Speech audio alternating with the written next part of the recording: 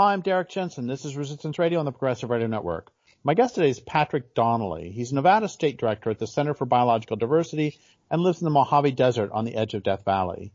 He's been involved in desert conservation for 17 years, including leading desert tortoise habitat and wetlands restoration projects, engaging local communities to achieve permanent protections for over 2 million acres of public lands in the California desert, and now advocating for Nevada's biodiversity and climate statewide.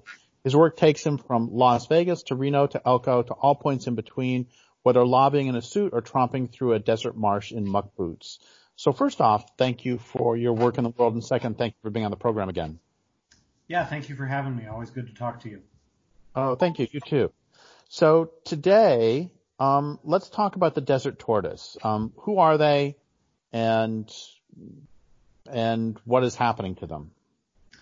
Yeah, well, the desert tortoise is a uh, remarkable reptile that lives uh, across the desert southwest. Um, so they're in the Sonoran and Mojave deserts and uh, are really a relic uh, from a wetter time when these deserts were, uh, uh, you know, 10,000 years ago in the last ice age. These deserts weren't deserts. they were they were semi-arid and wetter locales, and tortoises, an abundance of, of tortoises and turtles thrived here. And uh, as the climate dried out, um, these these relics from the past uh, adapted to that drier climate and became desert creatures, and uh, continue to persist in the Mojave and, and Sonoran deserts. Now, despite the fact that they're in both deserts, I think the kind of popular conception of the desert tortoise and certainly the, the conservation locus has been around the Mojave population of the desert tortoise. Um, and uh, uh, which which also includes the Colorado Desert in California. So it's basically the California, Nevada, and Utah populations that have become sort of the conservation icon um, uh, of the Endangered Species Act and, and uh, uh, in the Mojave Desert. And so I see that there are several um, that there are two species of it, and are they both in trouble? Or then what I what I see here is I don't know how to pronounce it. Agassiz and Morafkai, and are they are they both endangered, or is only one endangered? Yeah, it's the Agassiz desert tortoise, uh, Gopherus agassizii, um, which is the uh, the threatened species, um, and that is the Mojave uh, population. Um, so uh, that is the one that is of focal conservation concern. So and, before, go ahead, please. Well, so these are these are uh, uh, medium-sized uh, tortoises. Um, uh, you know, a large tortoise can be, uh, boy, as much as two inch, two feet long uh, for a very large one. Although more typically, you're going to find tortoises in the eight to 16 inch range, perhaps. Um, they they live in burrows, typically along desert washes, but also in rock formations. Um, they uh, don't really drink water for the most part. They uh, get most of their water from the vegetation they eat, so they're herbivorous and they eat forbs, they eat wildflowers, uh, they eat grasses, and um, that is where they get much of their water, which they store in their bodies. And they're they're truly remarkable survivors uh, of the desert. And um, you know, historically, uh, when they were abundant before uh, the, the current problems they face um, they were really a, a building block, uh, a keystone species, if you will, of the Mojave Desert ecosystem. Uh, so those burrows, after a tortoise uses those burrows, they'll be used by any number of other animals. Um, they spread seeds, they disperse seeds, uh, they provide important nutrient cycling, and at, at, a time in the past, they were extremely abundant. Uh, the the old timers say the desert was crawling with tortoises, um, and, and so historically these were a really integral part of our desert ecosystem. So before we before we go on, can you talk a little bit more about um, their their behavior or not behavior, but their role as a as a keystone species? And I'm thinking about um, gopher tortoises in the southeast. There's like I don't know 200 species who depend on their burrows. Um, and so, can you talk a little bit about a little bit more about that and also talk about, um, I mean, they're, they're slow and tiny. How do they dig a burrow and how big are these burrows? Yeah, so the desert tortoise's burrow is going to be used by any number of creatures from a, a kit fox or a badger um, to uh, uh, potentially smaller creatures like ground squirrels or um, or pocket gophers. Um, uh, they're they're uh, they and also abandoned burrows have this interesting feature where they can provide shade and windbreak to help promote germination of seeds. Uh, so you can actually see a proliferation of uh, plants in an abandoned burrow. So these burrows perform a pretty important function in, in maintaining the desert ecosystem, and I think that's a uh, an important piece of the tortoise's role. I think also nutrient cycling is very important. Um, you know, in terms of their uh, uh, eating the, the plant life and digesting that and uh, fertilizing the soil with the uh, excrement, but also um, the tortoises' bodies themselves as they uh, accumulate calcium in their shells, and then when they when they die, that would be a source of calcium for creatures and for the soils. And so, uh, you know, when at a time when these creatures were abundant, they really played an important role in this ecosystem. So, who eats them? Well, uh, historically, it could have been a variety of creatures. I think you're mostly going to find predation of uh, uh, smaller tortoises. I think most creatures would have a pretty hard time eating a, a, a you know foot and a half long tortoise ensconced in a very tough shell. Um, but certainly there is predation of small tortoises by uh, well, uh, currently the biggest thing is ravens uh, ravens have proliferated in the desert uh, with with humans in more recent times, and so raven predation of ju- juvenile tortoises is a major issue. Um, but also other birds of prey might uh, might eat juvenile tortoises, um, and then uh, you know the there could there could be other predators, uh, potentially foxes or others, who might uh, try to get at a desert a juvenile tortoise before it you know toughens up as it gets bigger.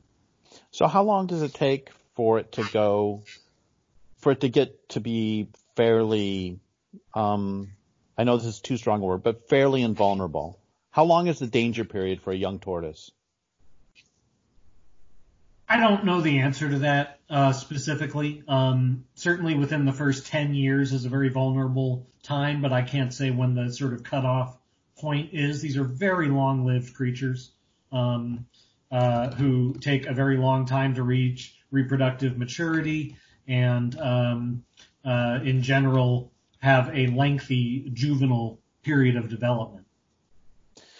So I, I, have another strange question after which we'll get to some perhaps easier ones. Um, and the, the strange question is I've, I've noticed that if I throw fairly large bones into the forest here, Pacific Northwest, um, they can take a long time to break down. So I've started asking all sorts of people, like what happens to huge buffalo bones, bones that might be too big even for grizzly bears to, to chew on. Who, who takes them down?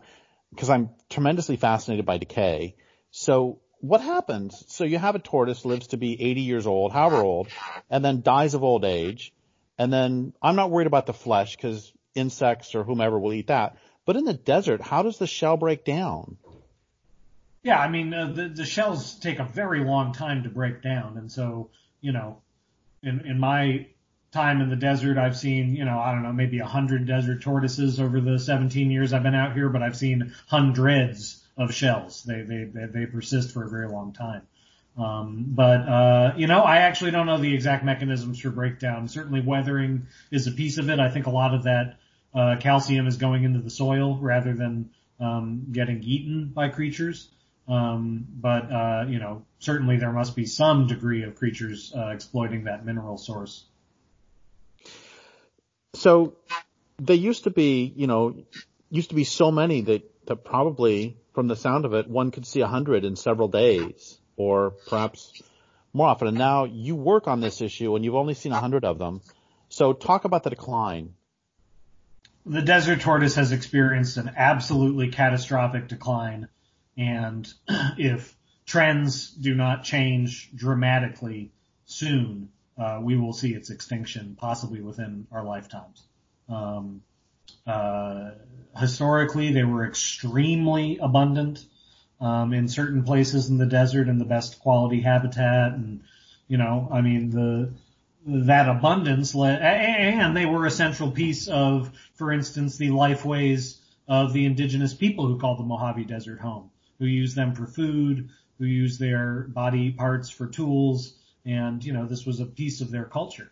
Um, but they were so abundant that you know when European descended people got out to the Mojave Desert, um, they uh, used their dominant ethos of how they interact with wildlife to uh, uh, destroy these species. So, for instance, the story goes people used to line them up on a piece of wood and shoot them for target practice. There were so many you could just go out in the desert and grab them, line them up on a plank, and you know use them for target practice. Uh, another uh, anecdote is that the dirt bikers, when the dirt bikes started becoming popular, would go out, round up some tortoises, put them in a little vertical, uh, uh, lengthwise pen, you know, and, and ride right over them, over the top of them.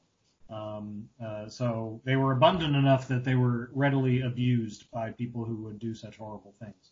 And, you know, that's really the story of the past hundred years of the desert tortoise's existence is this increasing, uh, abuse by, uh, by humans in the desert southwest, both direct mortality, like the kind of horror show I'm describing, or, you know, more often indirect mortality through the destruction of habitat.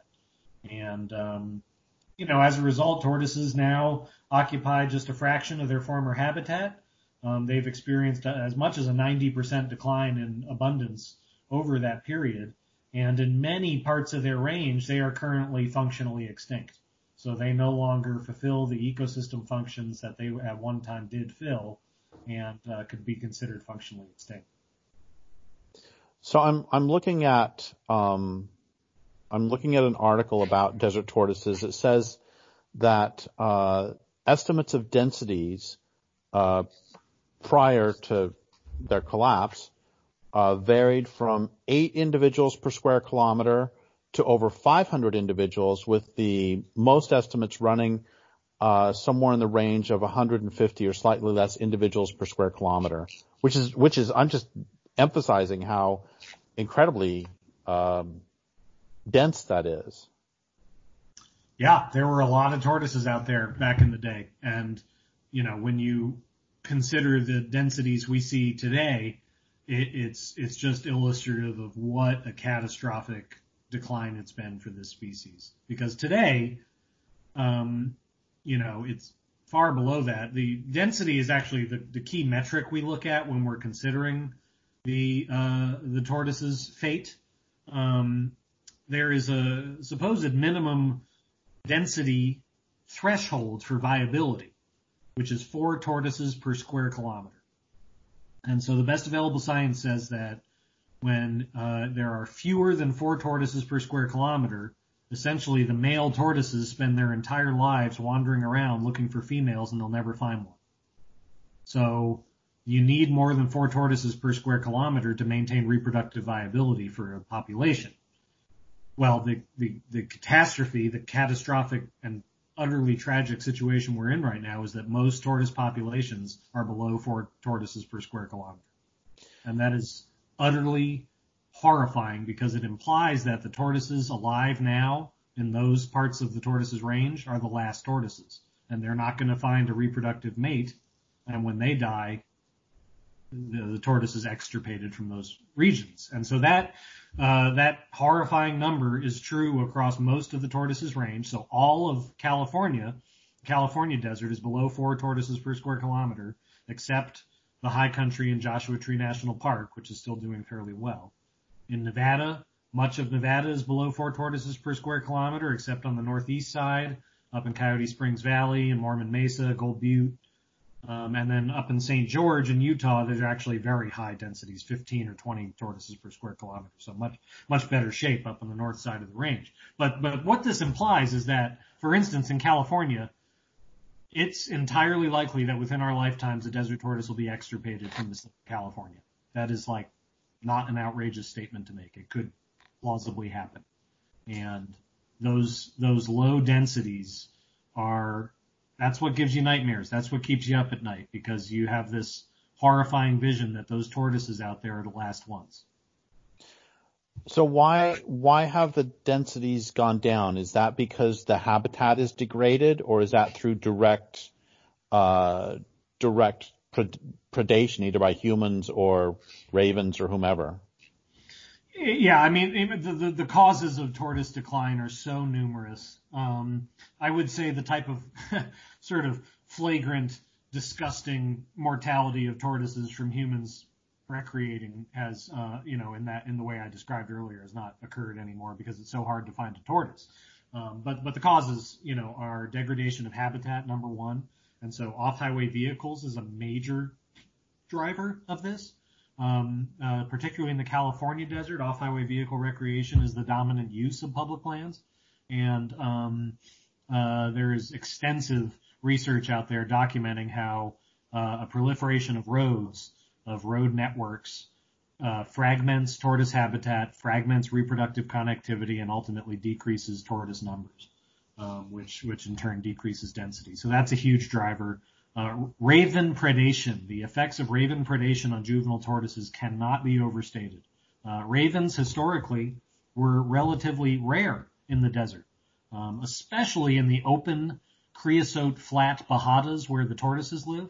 Um, ravens would have been more concentrated around water sources historically, but human disturbance and human encroachment into the desert, particularly with our trash, uh, dumps, you know, subsidies, uh, food subsidies to ravens, um, uh, roadkill, all of these have allowed ravens to proliferate across the desert landscape.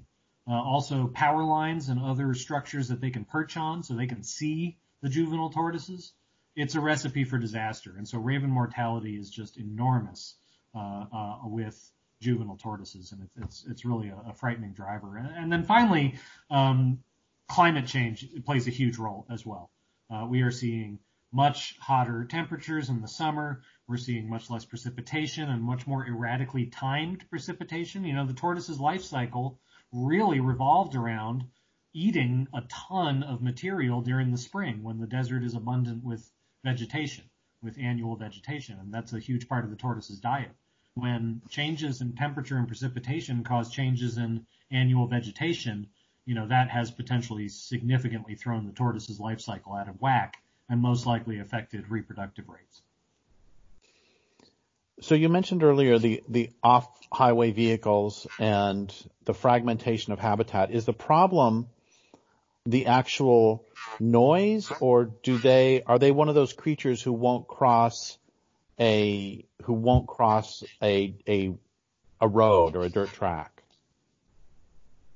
Yeah, there, there's noise, there's direct mortality, uh, um, and there is right the the natural uh, aversion to open spaces that many creatures in the middle part of the food chain have.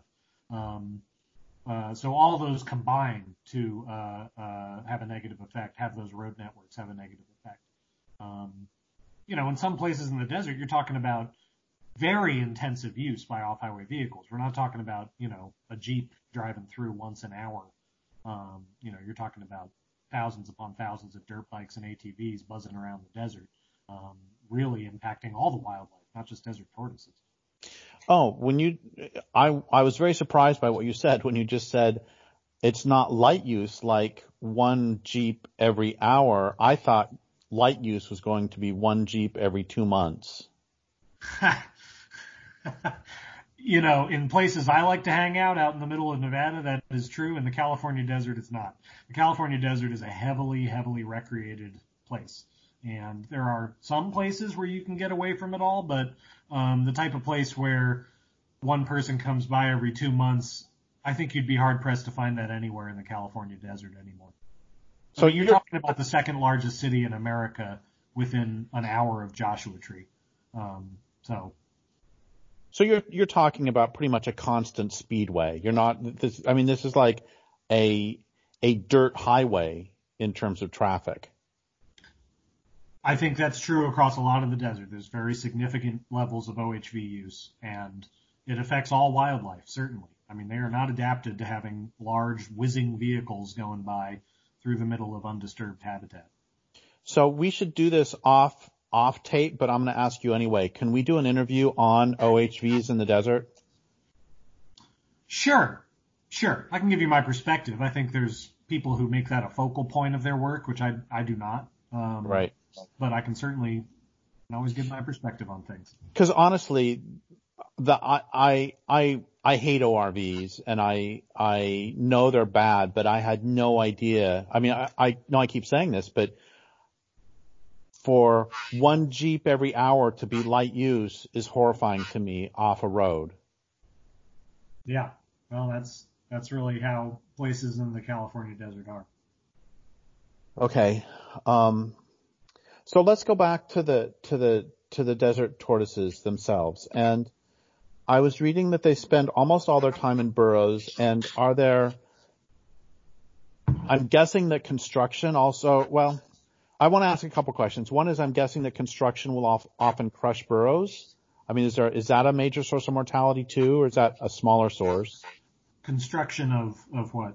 Of anything. Um, well, okay, so then, I mean, then we get to the last driver of the tortoise's extinction, which is direct habitat loss. And so the, the Mojave Desert has had significant encroachment from residential sprawl, industrial sprawl, and now energy sprawl.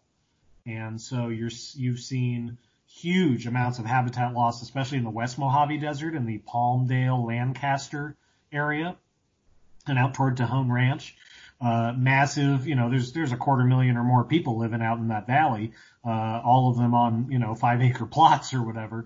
Uh, that's an exaggeration, but you know, there, there's a lot of residential development and then, uh, proliferation of utility scale solar development as well. So large solar farms that bulldozed Joshua Tree woodlands and desert tortoise habitat, um, uh, there in the West Mojave. You've seen the same thing around Victorville, that part of the Mojave Desert, significant residential sprawl. Um, and then you got to look to the North Mojave and uh, Las Vegas. Um, Las Vegas has eaten up hundreds of thousands of acres of high quality desert tortoise habitat and utility scale solar development along the Highway 15 corridor has eaten up many, many thousands of acres more uh, habitat. And so, you know, ravens are a problem. Climate change is a problem. OHVs are a problem. But if we bulldoze their habitat, pave it over, or put mirrors on it, you know, that is the ultimate destruction of the species. So if are are desert tortoises themselves pretty shy or if if their habitat isn't being overtly destroyed, can they can they survive human interactions? Like raccoons do fine around humans, ravens do fine around humans, bears do fine around humans. Um, um, spotted owls are more shy. You know, various creatures are more shy. Are these are these, uh, if there wasn't massive destruction, would they be able to get along? Like, if somebody had one house out in the desert, uh, would the would the would the desert tortoises avoid that as well? I mean, most of the people I know who have a house out in the middle of the desert have very little wildlife that avoid their place. You know, they see wildlife all the time. I think tortoises are resilient enough that they can survive a variety of conditions, but it's also very conclusively demonstrated that the less impact an area has, the higher the population of tortoises. So they thrive in places that are undisturbed by humans. That's where they do their best. And you know, you, you it would be rare if you lived in the middle of nowhere to see a tortoise come up on your porch, you know, and sit under your easy chair to get some shade. I mean, they're not you know, drawn to humans or disturbance in any way. So, so as opposed to a uh, uh, rac- as opposed to a raccoon, which you would yeah, see on your nothing porch. Like, nothing like a raccoon, that's for sure. So can you talk about the efforts for Center, Center for Biological Diversity and other organizations to protect the, the tortoises? And don't yet talk about any possibilities for captive breeding programs. I want to ask you about whether that's in existence later but talk about efforts to protect by your organization and others. Yeah, uh, the the desert tortoise was uh, protected under the Endangered Species Act in 1990. Was listed as threatened under the ESA, um, and critically in 1994, um, critical habitat was designated, and it was one of the most expansive critical habitat designations in the history of the Endangered Species Act. Um, enormous swaths of the Mojave Desert were designated critical habitat. Um, and this was seen as essential to protecting the species by protecting these reserves where um, where their uh, uh, density would be the highest. Um, and so uh, the critical habitat designation really has driven a lot of conservation over the past uh, uh, 25 years um, across the Mojave Desert. Um, I think the other element that has driven quite a bit of conservation is, um, at least up here in Nevada, uh, the Clark County Multiple Species Habitat Conservation Plan. Um, you know, the entire Las Vegas Valley is tortoise habitat. And so after listing, every time a subdivision developer wanted to plop down another subdivision, you know, they would need to get a take permit from Fish and Wildlife Service because they're destroying tortoise habitat. Clark County lumped all those permits together into a multi-species habitat conservation plan, which did take substantive uh, steps for tortoise conservation. For instance, uh, tortoises are not compatible with cows um, at all, and uh, the Clark County MSHCP mitigation uh, bought out almost all of the grazing allotments uh, on the Nevada side of the Mojave Desert, uh, which was of substantial benefit to desert tortoises. Incidentally, one of those grazing permits that was bought out was Cliven Bundy's permit, and he kept on grazing after that. So uh, that's a different story for a different day, but um, kind of a interesting tangent to the Clark County MSHCP story. Um, so anyway, there was there were some of these foundational actions um, protecting tortoise habitat um, that were taken shortly after listing or in the years after listing.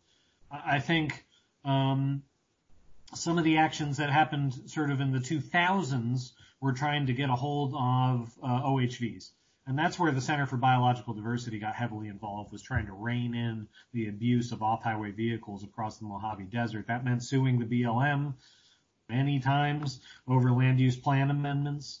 Um, and that meant intervening in directly in certain instances when there were uh, particular abuses of off-highway vehicle users. Um, but ultimately, you know, it was widely recognized that OHVs were uh, impacting the tortoise, uh, there was a popular movement against off-highway vehicles. Like sometimes when you're fighting for an endangered species, it's just you and the Endangered Species Act and the courts versus the world. Um, but on off-highway vehicles, there was really a widespread consensus among not just the environmental community, but just people who cared about the desert that OHVs were out of control. And I think the, especially the kind of 10 years start from 2000 to 2010 when a lot of heavy OHV litigation was going on, we, we saw some of those abuses reined in um, across the desert. So I think that's been a really important piece of um, uh, conservation, particularly in the California desert. Um, and then uh, certainly, you know, utility scale solar has been a major fight um, for the desert tortoise, and many groups have been engaged in fighting back against some ill-sited utility scale solar projects. Um, to be perfectly honest, most of those fights have been uh, uh, either completely futile or resulted in uh, better mitigation. But um, it's been rare, if ever, that a project has just uh, folded um, due to desert tortoise concerns. Um, and so, uh, you know, there's kind of a mixed track record of the success of pushing back against some of those projects. Um, that does not stop people from continuing to do so, but um, you know, fighting back for the desert tortoise take, I mean, there's so many threats. Uh, you got to pick how you spend your time on a given day.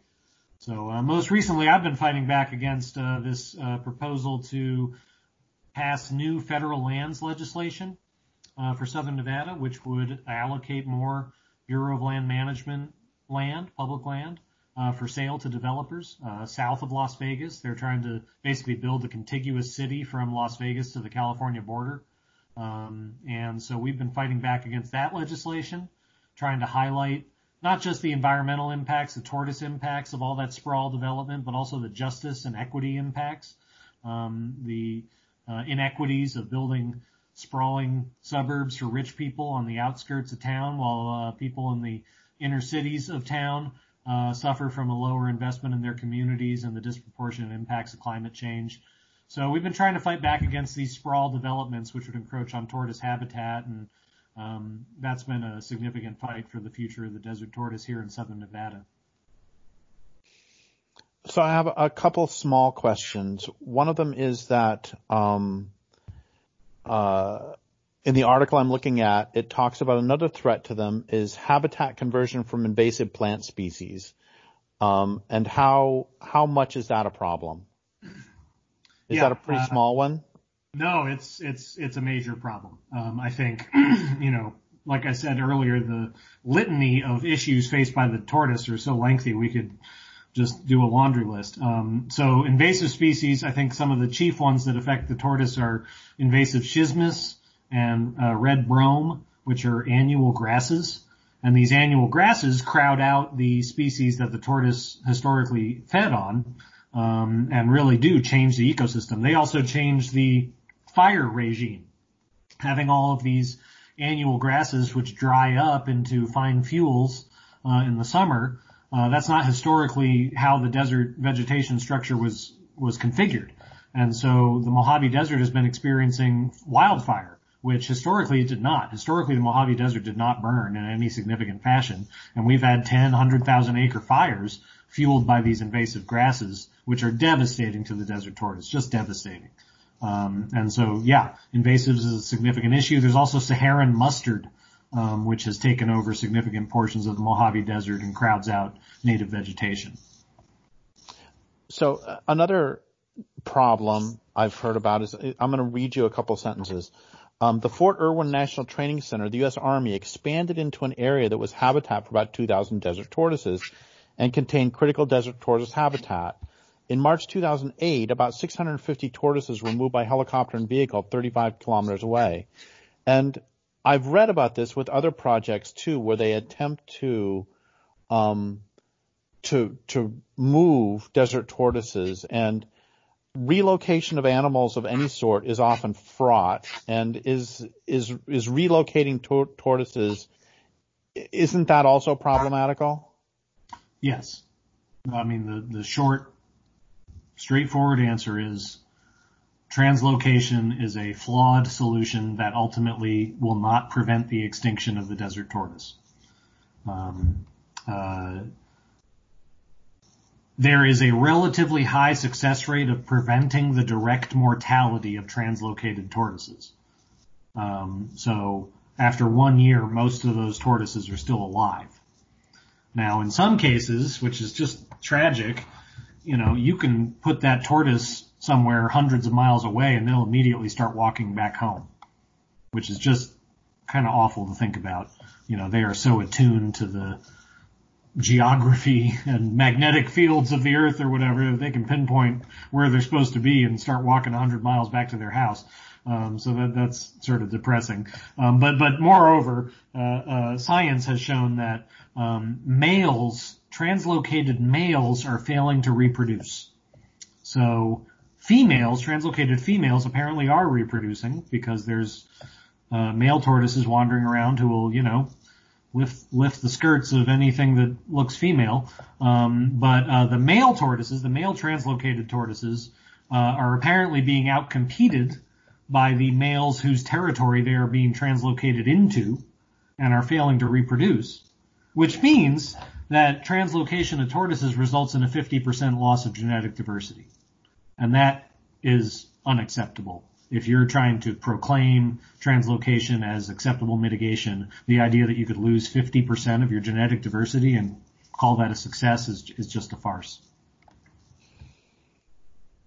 And another question I wanted to ask is there's mention of illegal collection and there are adoption programs. Is, is capture for pets a significant problem or is that a smaller problem?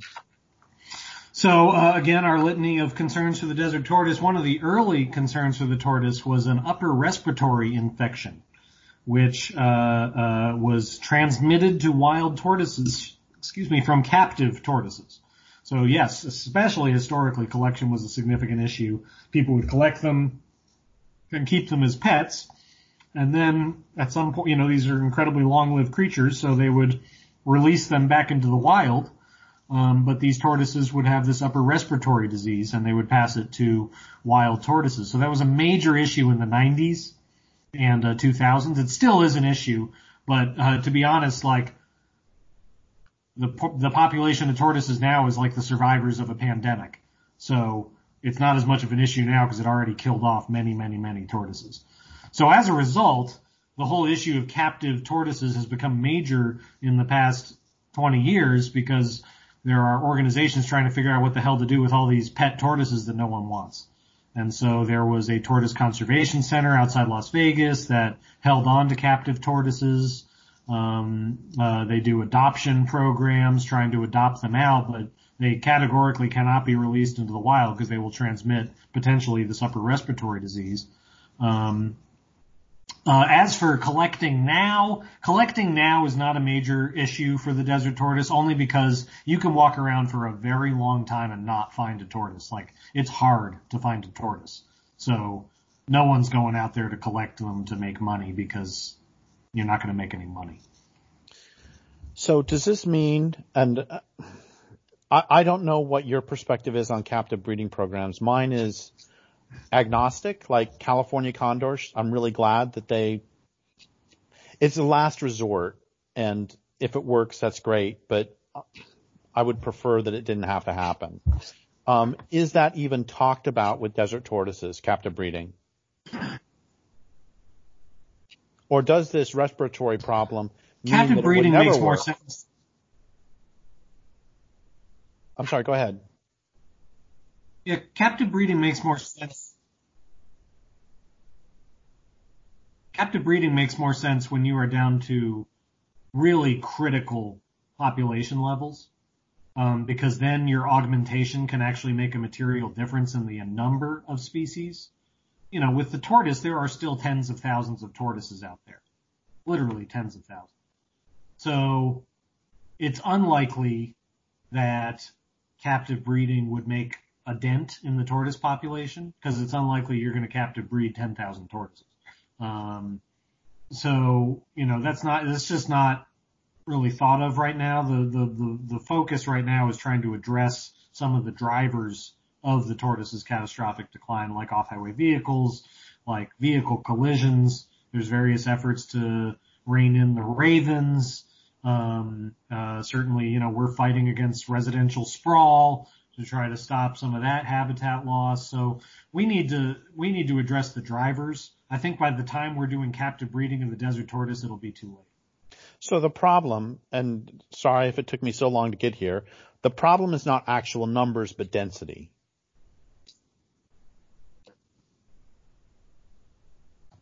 That's right. That's right. The problem is density if they spend the rest of their lives wandering around looking for a mate and they don't find one, you know, essentially their life was for naught because they were unable to perpetuate the species. Um, and and so when you have entire geographic regions where the density is that low, that's essentially the extirpation of that species from that area. So what do you? Um, we have about 10 minutes left. And what do you lay out some potential futures for the desert tortoise?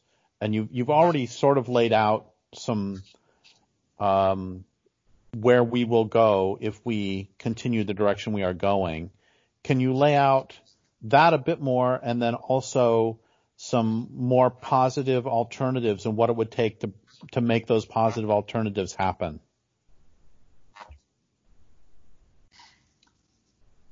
I mean, there's no sugarcoating it. The fate of the desert tortoise is extremely grim. Extremely grim. Uh, it's all but assured to go extinct in the state of California outside of Joshua Tree National Park within our lifetimes. Um, uh, it is likely as the climate changes that only the northern part of the tortoise's range will be viable because it'll be too hot in the southern part of the range which really emphasizes the importance of conserving habitat in Nevada and Utah and connectivity so that natural migration northward can occur. Um, so that's some of the focus of the conservation efforts. Uh, I think if we are successful in stopping the tortoise's habitat loss due to direct destruction from sprawl and solar energy, if we are successful in maintaining connectivity, and most importantly, if we stop burning fossil fuels and stop runaway climate change, I think the tortoise could have a chance of persisting in the northern part of its range in, in Nevada and Utah. Um, maybe a relict population in Joshua Tree if, if, if the climate change can be brought under control. But at our current trajectory, uh, the tortoise is staring down the barrel of extinction.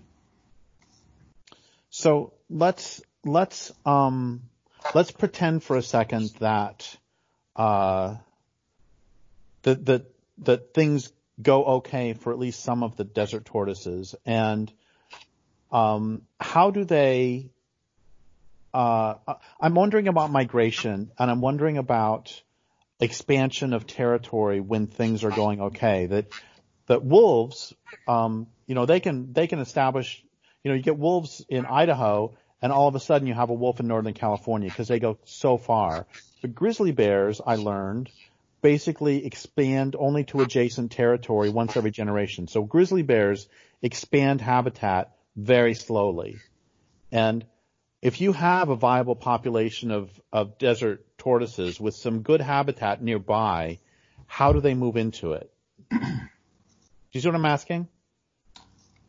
Yeah, it, I mean, tortoises don't go very far in their whole lifetime.